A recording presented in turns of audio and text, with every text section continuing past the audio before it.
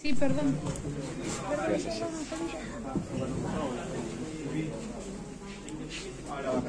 Buenas noches, damos inicio a la conferencia de prensa de Julio Bacari. Primera pregunta. Julio, estamos en vivo para Muy Independiente, buenas noches. Bueno, el otro día dijiste que te ibas con pocas cosas positivas. Te quería consultar si, sobre todo con el segundo tiempo de hoy, sentís que Independiente pierde dos puntos esta noche. Gracias. La verdad que en cuanto a la sensación sí es que perdimos dos puntos. Eh, me, voy muy conforme con el segundo tiempo del equipo, también con cosas buenas que se hicieron en el primero. Por ahí nos faltó un poquito de, de, tranquilidad a la hora de finalizar la jugada, de tomar esa decisión de cuándo rematar, de cuándo tirar el centro, en qué lugar elegir, elegir esa posibilidad de centro, pero la verdad que me voy muy conforme con el segundo tiempo, con la, con la, con la garra, con la agresividad, con la tenacidad que tuvo el equipo y con esa decisión de ir a buscar. Sí que por ahí ah, nos falta un poquito más de, de, tranquilidad a la hora de esa toma de decisión final, pero la verdad que eh, muy, muy bueno lo, lo que hizo el equipo hoy. Julio, ¿cómo estás? Agustín Falcón, digamos, en para bueno. Te quiero preguntar si vos sentís que el equipo hoy dio un paso hacia adelante respecto a lo que habíamos en Córdoba, quedó en la misma línea o en todo caso un paso para atrás. Muchas gracias.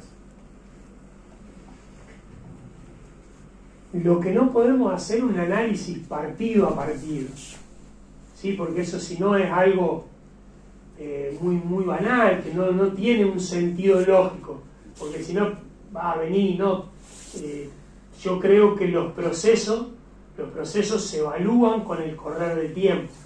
Entonces, eh, yo creo que el equipo está en un crecimiento, ¿sí? Y, que aparte está creciendo en, en, una situación que no es la más cómoda para futbolistas, ¿sí?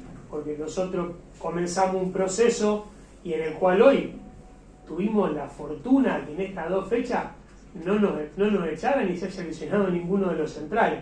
Pero si no, es, eh, es como que vos decís, uh. Entonces, bueno, es, es como que la situación no es la más cómoda para crecer, pero sin embargo los chicos eh, lo están sobrellevando muy bien. ¿sí? Eh, la verdad que el proceso es más largo y la evaluación tendría que ser mucho más adelante, pero sí que me voy conforme con lo que hicieron hoy los chicos. Gustavo Farías acá para Fútbol Nación Permanente. Preguntarte, eh, Julio, eh, con respecto a lo que fue el primer tiempo, que Independiente casi remató al arco, ¿qué es lo que dijiste en el segundo tiempo para que el equipo fuera más agresivo?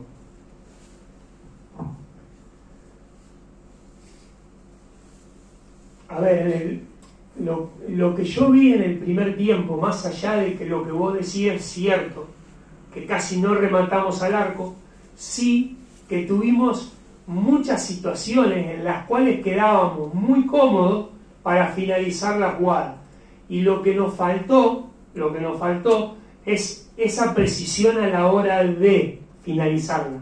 Nosotros llegábamos por las bandas, ¿sí? llegamos dos, dos, dos o tres veces con Santi López y, y Dami Pérez por izquierda, en el cual quedábamos en una situación muy, pero muy buena y muy positiva de cara a gol, y después nos faltó por ahí el pase, era un pase atrás y metimos centro, cuando era centro metimos remate, después también tuvimos uno o dos por el sector derecho con Luna y, otra con Luna y, y, Santi Salle, y lo que nos faltó fue esa, esa sensación. Sí es verdad, sí es verdad que la intensidad del equipo fue muy, mucho, mucho mejor en el segundo tiempo a la hora de presionar, a la hora de la, la presión post pérdida, a la hora de reponerse rápido a las situaciones. Pero tampoco corregimos eso de, de, la finalización puntual al final. ¿sí? Julio, ¿qué tal? ¿Cómo te va? Acá. Eh, estamos en vivo por 9 hablar de eh, te quería consultar qué te dice la dirigencia si ya vas a tener para el próximo partido los, refuerzos que han llegado a, Independiente. Gracias. Lo, lo que a mí me dicen es que están haciendo todo lo posible para, que podamos contar con los futbolistas lo antes posible. Eh, en cuanto a una fecha, la verdad que yo no, no lo sé y tampoco espero. ¿sí? La, obligación mía es, eh, mía y, del grupo de jugadores que está hoy es ponerle el pecho a la situación y, bancarla hasta, hasta, que, hasta que sea turno de. Pero la verdad que no, no creo que haya, tampoco creo que haya una fecha en la cual se diga esto y va a ser. Por lo menos es la sensación que a mí me da. ¿Te preocupa? A ver, eh, a mí me gusta mucho el trabajo. Me gusta mucho trabajar, me gusta mucho tener a los futbolistas, me gusta mucho planificar. Y, la verdad que cuando el tiempo no, te lo permite, eh, es algo que uno no lo favorece. Pero, pero bueno, ya está, hay, hay que ponerle el pecho a esta situación como lo están haciendo los futbolistas. Hay algunos chicos que están jugando en posiciones que por ahí no son en las que más cómodos se sienten, pero le están poniendo el pecho y para mí esas cosas son muy valorables. Julio, acá al costado, Facundo Pueblo, estamos en vivo, el rojo de pasión. Eh, hay un jugador del que muchos esperan y es Gabriel Ábalos, que por ahí con Tevez no tuvo un buen rendimiento, que por ahí después con, con Tocali en los pocos partidos por lo menos tuvo situaciones y también convirtió. Y en estos dos partidos, por lo menos bajo tu mando, no ha tenido la mejor performance. ¿Cómo se trabaja con un goleador así, con uno así, de ese, de ese calibre, de esa jerarquía? Eh, la, que no, no está teniendo una gran performance es una opinión tuya. Yo creo que hoy, más allá de, que no tuvo situaciones de cara a, gol, sí ha tenido muy buena participación en todo lo que es el juego sucio del equipo. Ha, recibido muchas pelotas de espalda y las ha, las ha aguantado. Y bueno, después también es como eh, a ver, eh, la pelota que cabecea pega en el travesaño, si, si hubiera sido gol ese seguramente eh, las cosas cambian, pero los goleadores, los delanteros centros son así y, yo siempre le digo a, todos ¿no? que tienen que tener mucha tranquilidad. Julio, acá atrás, Emanuel Clark, que estamos en vivo para Fútbol al Rojo Vivo. Consultarte si te casás con el esquema 4-3-3 o en la segunda mitad se vio lo mejor con un 4-2-3-1, si es, eh, se puede variar el sistema táctico de cara a los próximos partidos.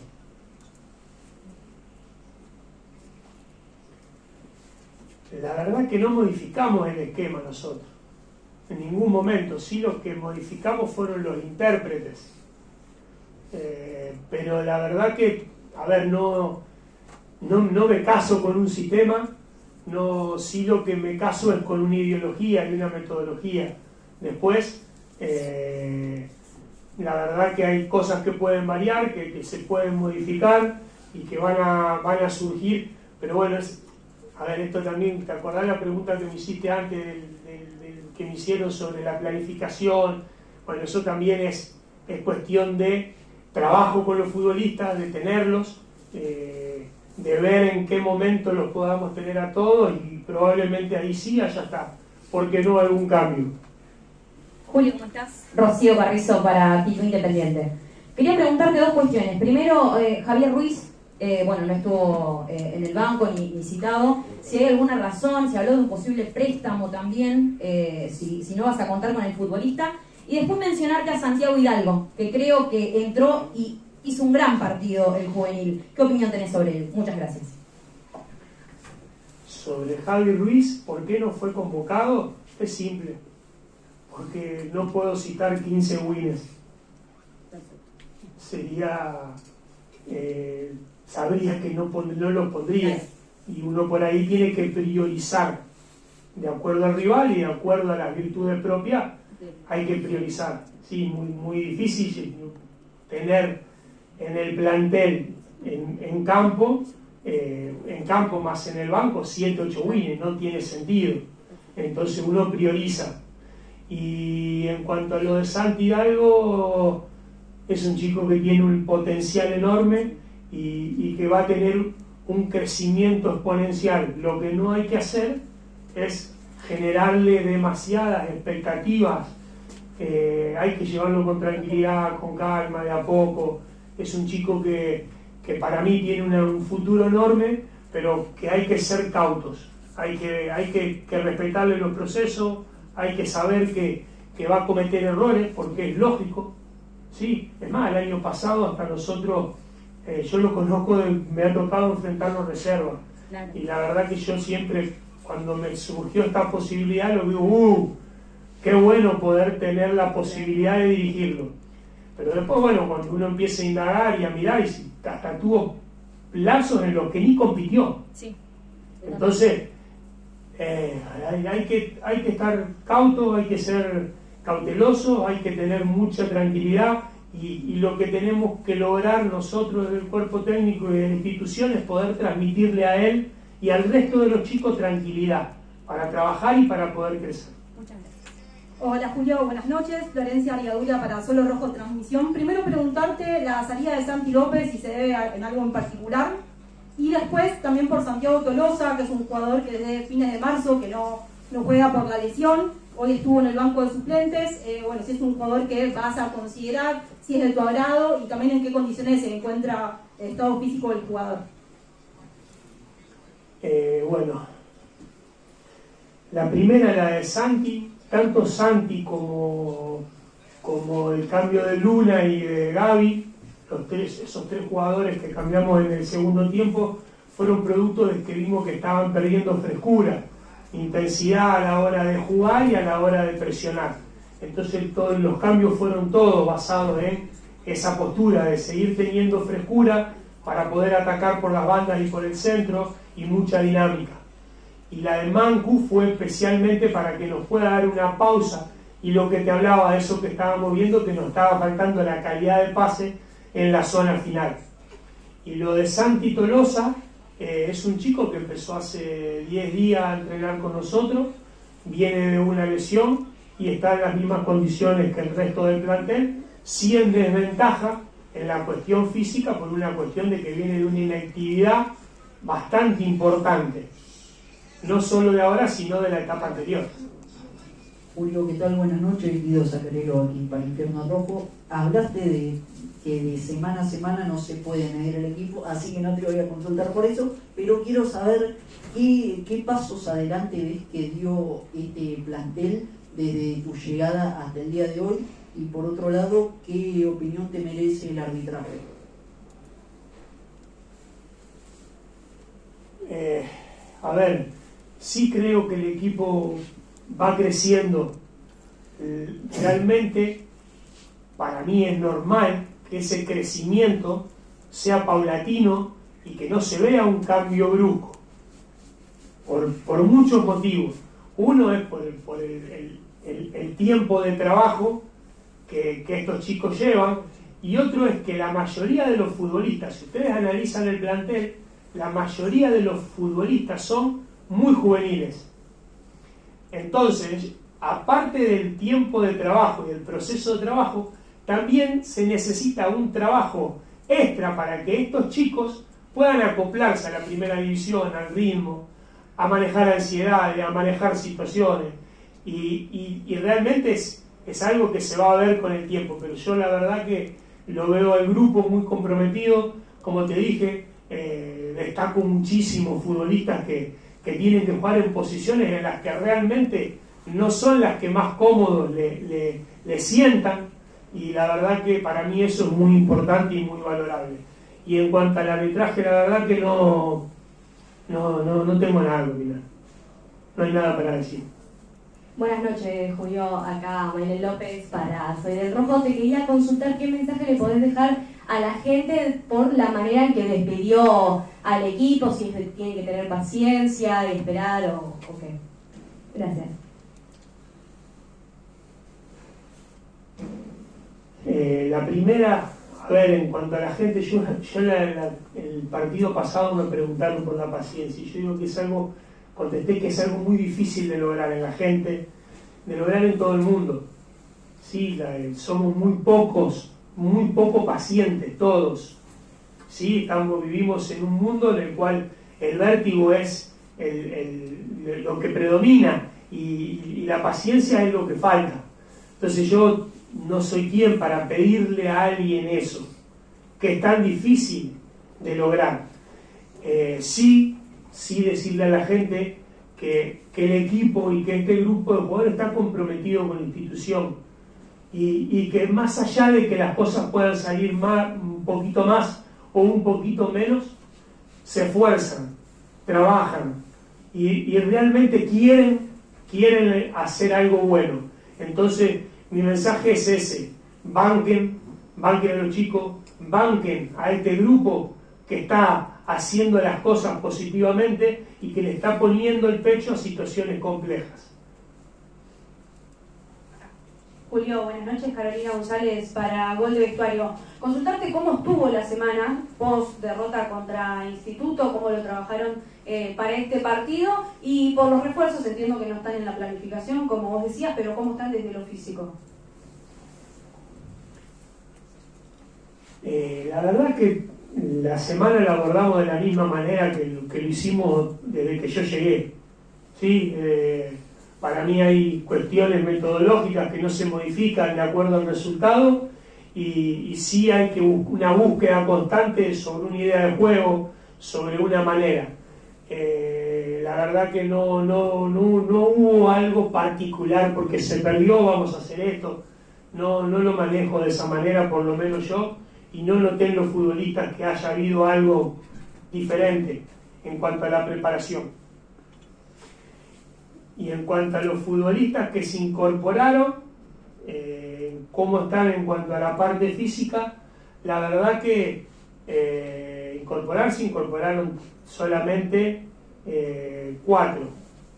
Vallejo y, y Barcia que, volvieron, más Kevin y Marco Pellegrino que, que se incorporaron. están preparándose, preparándose y estamos buscando la mejor manera de ponerlo a punto lo más rápido posible para que en el momento que las inhibiciones se levanten poder contar con ellos. Y con los que están por venir es también esa onda de incertidumbre, salvo que venga algún futbolista con rodaje, con partido, con competencia, con lo cual ya te da la pauta de que está por lo menos apto para la competencia, lo que no significa que esté apto para esta competencia que es el fútbol argentino y para la idea de juego, pero sí que por lo menos te da esa pauta de que viene compitiendo. Julio, acá a tu izquierda para, para ir bien, eh, en esto de los que están por venir, vamos a sumar a, Vera y a Loyola, te pregunto si el mercado se cierra ahí o si necesitas más, algún lateral más, alguien en ofensiva, cómo lo tenés planificado, obviamente no, no preguntándote nombres, y después, una vez que se habiliten los, los refuerzos, sea esta semana, la que viene o la otra, eh, te va a quedar un plantel bastante numeroso. ¿Con cuántos jugadores aproximadamente a vos te gusta trabajar el día a día? Eh, a ver, a los que ya vinieron, la idea es sumar algunos más. Eh, a ver, yo también, cuando nosotros, cuando nosotros cuando yo comencé acá, eh, eran diferentes, eran, eran varios los puestos a reforzar. ¿sí? Eh, después, las oportunidades de mercado fueron marcando para qué estábamos y para qué no. ¿sí? Porque como, como hablamos, vamos a buscar a este y bueno, no se puede, vamos a buscar otro, un complejo, difícil. Entonces, bueno, lo que estamos haciendo es, es eso. Y la verdad que en las posiciones que yo había pedido eran en muchas, sí, eran diferentes, y la verdad que también nos tenemos que acomodar a eso, a, la búsqueda de acuerdo a el presupuesto de la institución y siempre intentando de que el jugador que venga sea alguien que viene a superar a superar lo que nosotros tenemos. Sí, aunque a veces no sea un jugador de muchísima jerarquía, pero probablemente si nosotros hay una posición en la que no tenemos, si no mejora, ya suma. ¿Sí? siempre que no tengamos en inferiores. Nosotros estamos con Hugo muy, muy comunicados y la verdad que hay posiciones en las que en, inferiores, tanto lo que reserva como cuarta, quinta, no hay mucho material para en lo inmediato echar mano. ¿Sí? Si hay en posiciones en las que hay, entonces ahí no vamos a, a traer futbolistas. Pero eh, en lo inmediato inferiores no tenemos, entonces si hay algo que aparece en el mercado que nos mejore lo que nosotros tenemos, sí haremos uso. ¿sí? Y si no, no, pero no depende mucho de, lo que yo pida o lo que yo haya pedido. Y, y en cuanto a la cantidad de jugadores que te gustaría trabajar, Depende mucho, sí, eso depende mucho. Eh, he trabajado con 30 futbolistas, he trabajado con 24, con 25 y la verdad que yo me siento cómodo trabajando con todas. En Independiente hay muchos futbolistas juveniles que están trabajando ahora con nosotros que todavía, que todavía están en etapa de reserva, que todavía están en etapa de, eh, de cuarta, de quinta, y que nosotros hoy, producto de la necesidad numérica, lo estamos trayendo al plantel de primera, por eso que estamos entrenando hoy con 30 futbolistas, pero también hay muchos de esos futbolistas que tranquilamente estarían en otro momento entrenando en reserva. Julio, ¿qué tal? Eh, linkeado a esto que vos señalabas recién y a algo que también te habían preguntado por ahí con respecto a Santi Hidalgo, que vos decías, bueno, hay que ir llevándolo de a poco sin apresurar los tiempos. Yo te consulto particularmente por el caso de Santi, si considerás que a partir del el segundo tiempo que él tuvo, el rendimiento en el segundo tiempo, teniendo más de este tipo de momentos, se puede llegar a ganar un lugar de titular. Y la segunda cortita, ¿cuál es la situación de Vera, de Loyola que te han dicho? Eh, pará. No depende. Lo de Santi Hidalgo es algo que nosotros lo hemos planificado. Lo, hemos planificado y lo, lo vamos también llevando nosotros a la medida que nosotros consideramos que el chico puede ir creciendo. ¿Sí? A ver, nosotros en los partidos amistosos lo fuimos midiendo, ¿sí? poniéndolo a veces de titular, a veces ingresando, eh, en los entrenamientos a veces protagonizando y a veces no protagonizando. Eh, lo vamos a llevar de a poco, va a ir de a poco ganando confianza y un montón de situaciones más que requieren tiempo, que él requiere tiempo. ¿sí? Eh, hoy, si ustedes lo vieron, la verdad que tuvo una, un desempeño muy, pero muy, muy destacado y por momentos hasta iba más rápido que la pelota. Y son situaciones normales, que él con el, con el tiempo, con la experiencia, con, con mostrándole video, explicándole cuándo, cómo, dónde y en qué momento él va a ir ganando en eso. ¿Sí? Y en cuanto a lo del que me preguntaste sobre los yo Olivera, yo, tengo entendido que ya estaría todo dado y que lo que haría falta para que ellos puedan ser tenidos en cuenta eh, es que las inhibiciones se levanten. Julio, acá es el Mario para Radio Argentina. Te quería consultar que en la conferencia de Barracas se mencionó constantemente que Barracas por momentos fue superior a Independiente y también lo superó en lo físico. Quería consultarte si vos lo viste así y también qué le falta a tu Independiente para que por lo menos el local eso no le pase. Pará. Me dijiste que en la conferencia de Barracas se mencionó eso y después me dijiste para que eso no le pase. O sea, que vos estás de acuerdo con lo que se mencionó en la conferencia. ¿Sí? Sí, bueno, yo no estoy de acuerdo. Yo creo que el equipo, en el segundo tiempo, que es donde más se nota la parte física, eh, Independiente lo avasalló. No le dejó cruzar la mitad de cancha. Si bien es verdad, tuvieron una contra que casi termina en gol.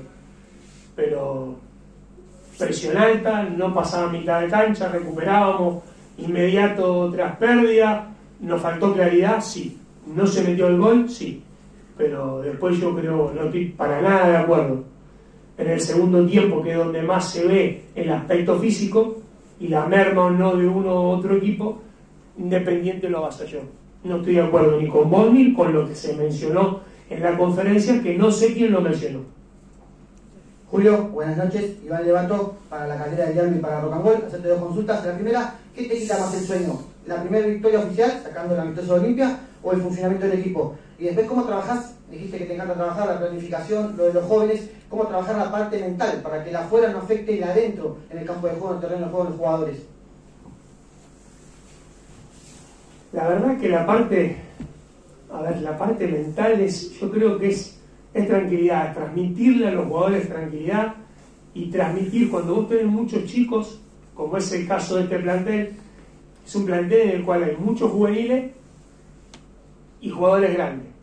No tenemos esa, esa zona etaria donde, donde predomina el futbolista con, con, con mayor, proye- a ver, no con mayor proyección, donde se dice que el futbolista mejor rinde, que los 26, 27, 28, 25, 24, es donde menos tenemos. Pero cuando vos tenés muchos jóvenes, lo que hay que transmitir es tranquilidad.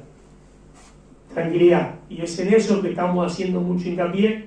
Y, en cuanto a la metodología de trabajo, es lo que a mí, en lo que más, más me preocupa a mí, es lograr que ellos sigan creciendo en la idea de juego, que ellos sigan eh, trabajando y que sigan confiando en ellos. Los futbolistas tienen que confiar en ellos, primero, para después poder confiar en el colectivo. Pero la verdad que hay que transmitirle tranquilidad a estos chicos. ¿Y si algo te quita el sueño, si la primera victoria o que el equipo siga creciendo en el nivel futbolístico? Ya el sueño a mí me lo quita, pero porque no soy normal, nada más que por eso. Es la realidad. Julio, buenas noches. Acá Rodrigo López para Independiente Rey Copero. Te quería preguntar qué se buscó en el segundo tiempo con los cambios, con el ingreso de Mancuello, el ingreso de Canelo, si darle más buen pie, eh, más presión alta, ¿qué, ¿qué, se buscó con esos cambios? Eh, lo expliqué en una de las preguntas anteriores. Primero lo que se buscó con los cambios en la parte ofensiva era no perder la frescura y, que estábamos teniendo y, y sí con el ingreso de Mancu un poco la idea era poder tener esa pausa necesaria a la hora de finalizar la, la jugada. Muchas gracias, Julio. Buenas noches a todos.